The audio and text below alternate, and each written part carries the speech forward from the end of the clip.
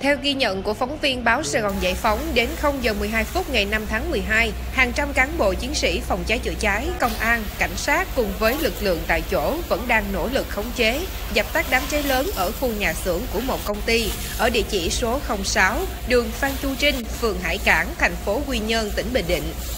Theo người dân địa phương, đám cháy xảy ra khoảng 18 giờ chiều ngày 4 tháng 12. Đến khoảng 20 giờ 30 phút, lửa lớn cháy lan rộng, bùng lên dữ dội.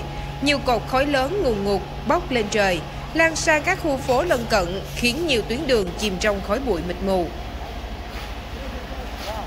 Phòng Cảnh sát Phòng cháy chữa cháy Công an tỉnh Bình Định đã huy động ít nhất 15 xe chữa cháy cùng hàng trăm cán bộ chiến sĩ tham gia dập lửa.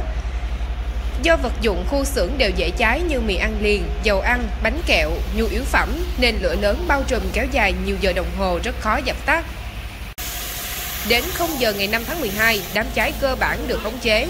Lực lượng chức năng đã huy động công cụ để tháo dỡ, đập một số vách tường ngăn cách khu nhà xưởng để đưa nước tiếp cận, dần dập tắt ngọn lửa hoàn toàn.